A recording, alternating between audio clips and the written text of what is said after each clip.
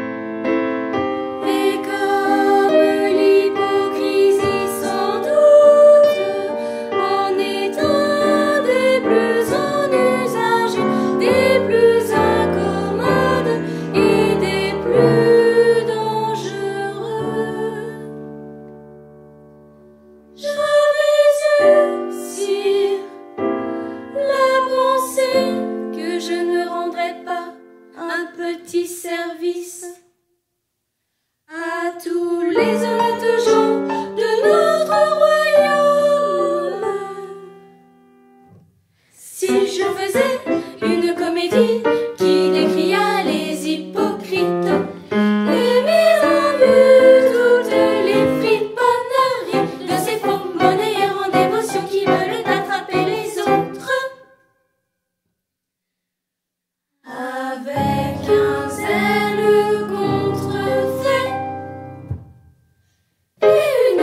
entre